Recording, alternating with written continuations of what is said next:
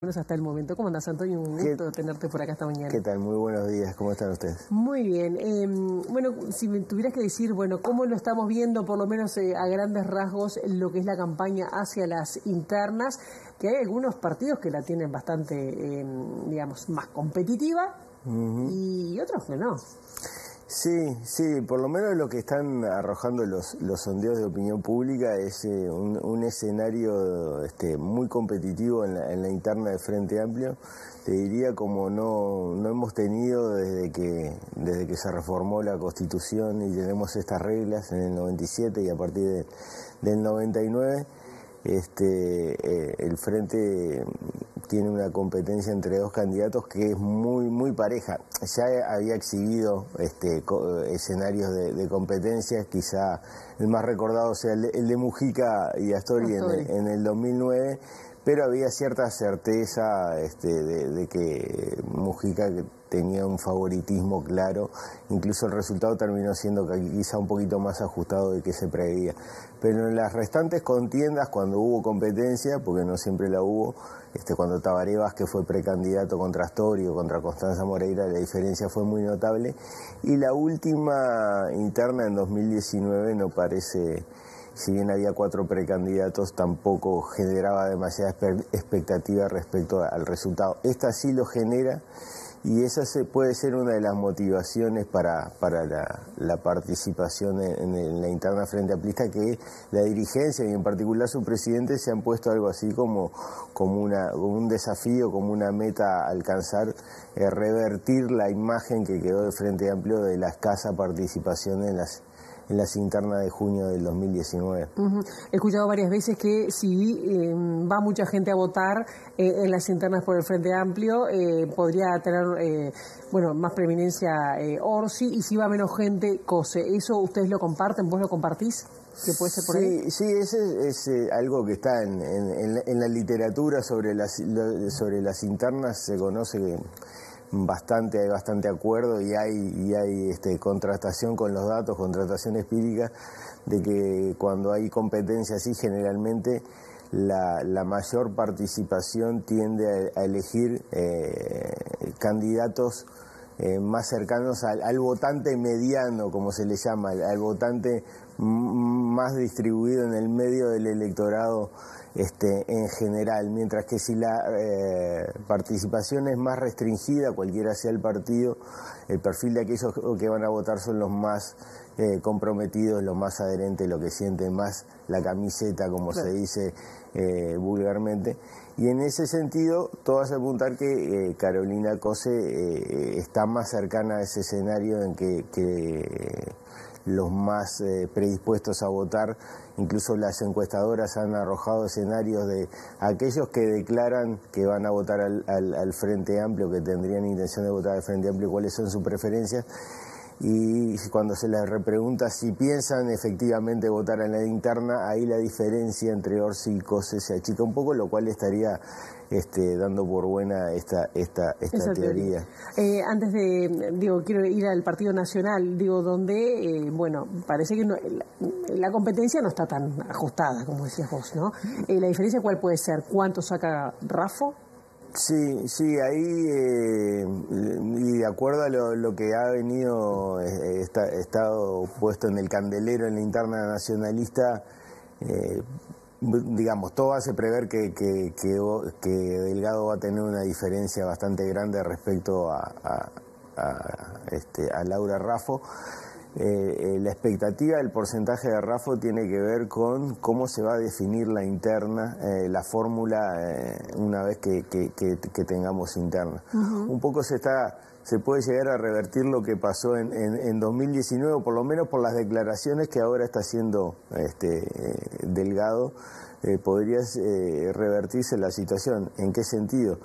En que el Partido Nacional en 2019, la calle Pou era el favorito, lo confirma en las urnas el último domingo de junio y rápidamente, eh, ni bien este, se sube al estrado, anuncia que va a ser su candidata este, a la vicepresidencia, que va a ser Beatriz Argimón, que no, estaba en carrera. Que no estaba en carrera, que sí ocupaba este, la, presidencia, del directorio del Partido Nacional, que ya era una figura por demás conocida, ex legisladora, etcétera y que reunía consensos también este, y no generaba rechazo en, la mayoría del partido.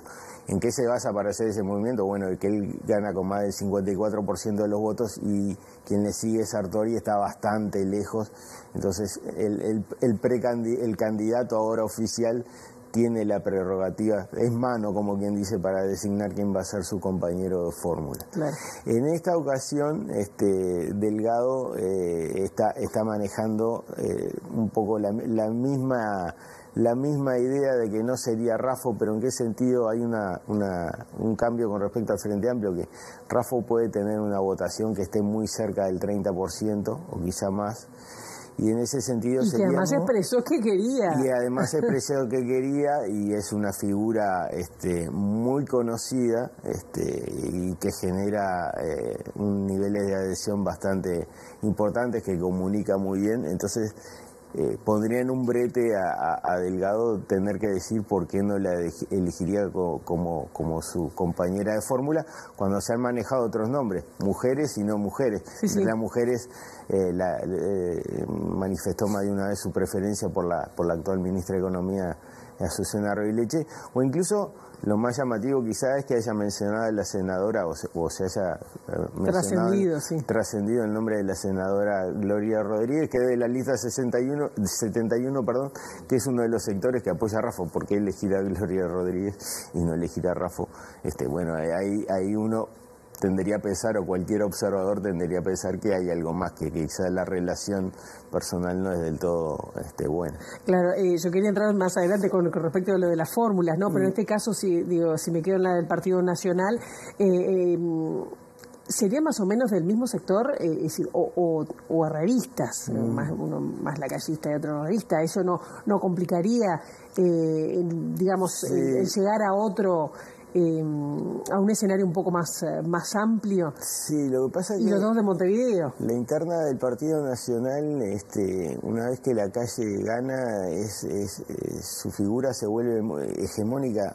Obviamente es el, es, el, es el líder del partido que como por estar en la presidencia y no estar habilitada en la reelección no puede jugar pero él, él este, es, es, la referencia para todos los sectores. Y las líneas entre las fracciones del Partido Nacional, entre el herrerismo y el, y el wilsonismo, están, están más difusas porque uno eh, tiene a, dirigentes que están detrás de, de, la calle Pau desde hace tiempo, como, como el propio Delgado, como este, Javier García que se reivindican este, como wilsonistas, entonces están, están en esa ala el movimiento de la calle Pou se distancia del herrerismo, de aire fresco, pero está, está siempre ha competido bajo el, el, paraguas este, junto con el, con, el, con el herrerismo. Entonces es difícil distinguir quiénes son herreristas, quiénes son wilsonistas, el que una cosa cuando eh, el ex ministro de la Rañaga estaba,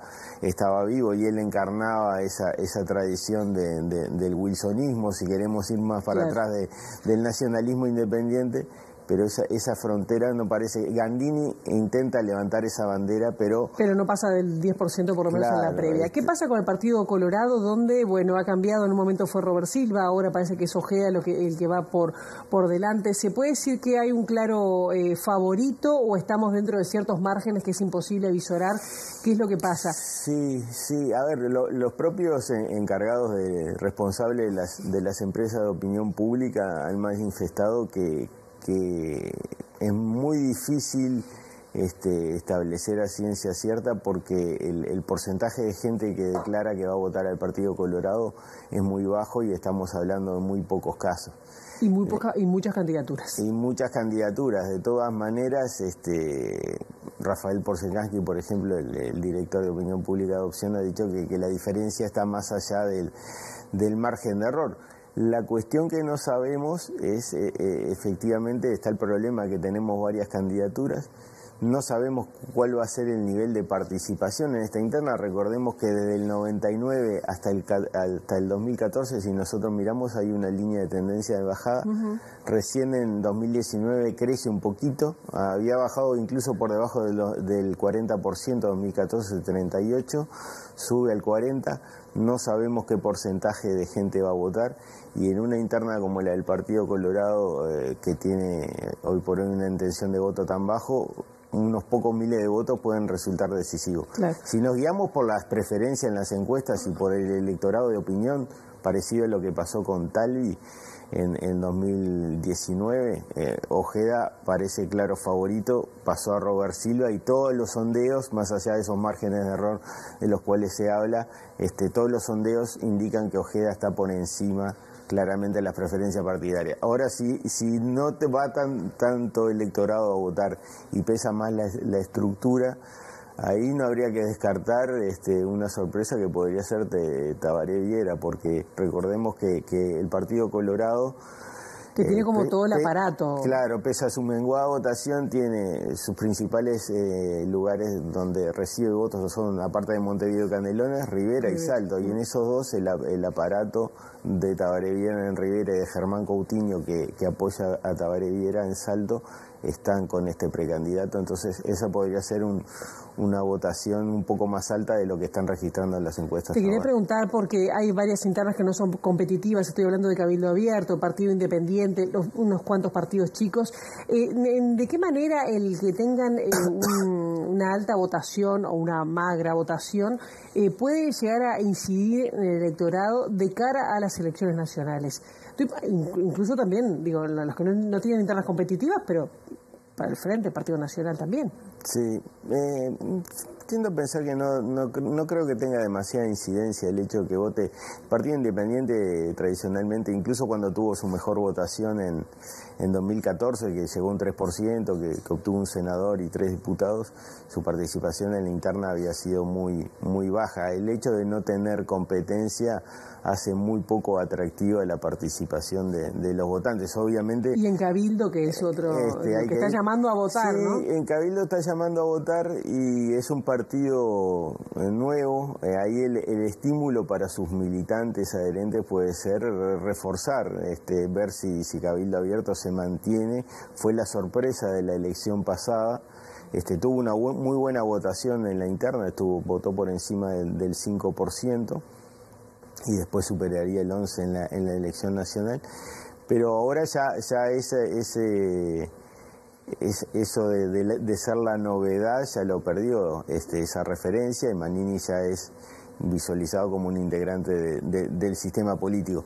También es cierto que está muy identificado el partido al, candidato, ¿no? Una cosa es, los propios encuestadores muestran cuando se pregunta intención de votos, si se pone el partido o cuando se nombra candidato, habría una, hay un mayor conocimiento respecto a la figura de Manini que del propio partido a lo que iba, como el partido se está armando también, este, se han formado diferentes corrientes o fracciones que seguramente quieran mostrar su, su, su poderío en la, interna con vista a armar las listas ya, nacionales. Ya, para terminar, eh, te, pregunto, eh, ¿está importando cada vez más la persona más que el partido? ¿Cómo ves un, vuelco hacia ese hacia eso que está pasando en otros países? Sí, bueno, a nivel mundial es claramente hay una personalización cada vez mayor de, de la política, lo, lo vemos este, en, en, la región, en la mayor eh, parte de los países de, de, América Latina, donde los sistemas de partidos se han reconfigurado, partidos que eran muy importantes han dejado de existir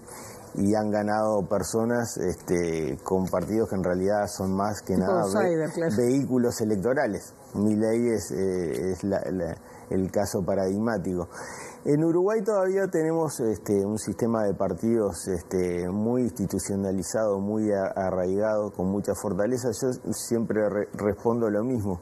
Este, la prueba de ello es que incluso este, cuando no están eh, definidas quiénes van a ser los candidatos y se hacen encuestas de intención de voto, desde que, desde que arranca un nuevo periodo de gobierno, tenés entre un 60 y un 70% de la gente que te dice que va a votar, votar a determinado partido, que tiene preferencia por determinado partido sin saber que es el candidato. Todavía los partidos en Uruguay siguen siendo relevantes, pero obviamente que las, las figuras también, sobre todo a la interna, ¿no? esto que te decía de los movimientos hacia las internas, antes las fracciones eran mucho más más sólidas, también más estables. Era muy difícil cambiarse de una fracción a otra. Ahora es mucho más eh, fácil para muchos dirigentes en, encolumnarse detrás de, figuras más o menos emergentes. Antonio, muchísimas gracias eh, por ahora, siempre ilustrándonos sobre la realidad política de nuestro país. Nos vemos pronto. Por favor, un gusto como siempre, a las órdenes. Bien, y nosotros ahora seguimos con otros temas porque tenemos que un grupo de mujeres argentinas convocó una movilización